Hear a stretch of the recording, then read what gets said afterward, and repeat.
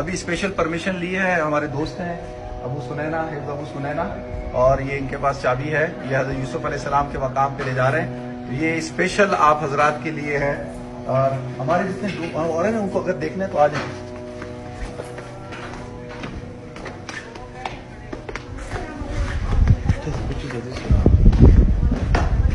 یہ یہ حضرت یوسف علیہ السلام کا مقام ہے، مقام سیدنا یوسف علیہ السلام۔ اور یہ اصل تو جوئش کے کنٹرول میں ہے۔ لیکن یہ قبر حقیقت ہے۔ تو لیکن اسپیشل پرمیشن پہ انہوں نے اندر جانے کی اجازت دی ہے مجھے۔ اپنے ان کو بلا لینا۔ بلاؤ کھول کھول۔ سے کول ہے bro.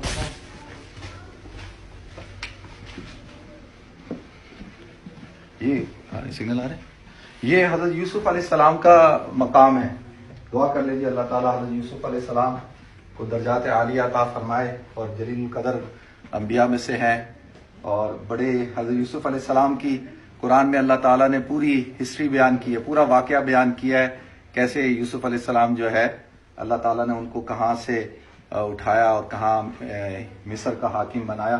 اور وہ پورا واقعہ آپ حضرات کو پتا ہے، میں بتا نہیں سکتا کیونکہ وہ زیادہ ٹائم کے لیے نہیں کھولا اس نے۔ تو میں چاہ رہا ہوں ہمارے جتنے ساتھی دیکھ سکتے ہیں، دیکھیں۔ تو یہ حضرت یوسف علیہ السلام ہے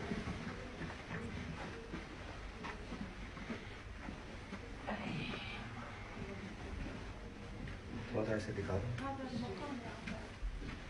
یہ یہ حضرت یوسف علیہ السلام کا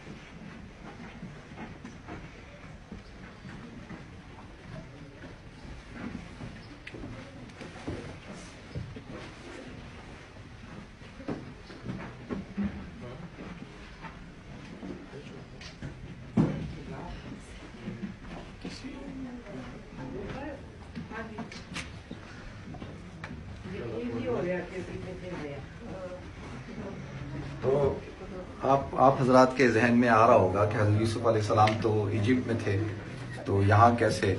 تو جب حضرت یوسف علیہ السلام کا جب انتقال کا وقت آیا تو انہوں نے وصیت کی تھی کہ بھئی مجھے جو ہے میری جو تدفین ہو وہ الخلیل کے اندر ہو اور میرے جو والد ہیں حضرت یعقوب علیہ السلام اور ان کے پہلو کے اندر۔ تو لہذا اس لیے حضرت یوسف علیہ السلام کی پھر جو ہے میت کو یہاں پہ لایا گیا اور یہاں پہ ان کی تدفین کی گئی۔ تو یہ حضرت یوسف علیہ السلام ہے۔ وہ پوری ہسٹری میں موجود ہے، پوری تفصیل یاسر؟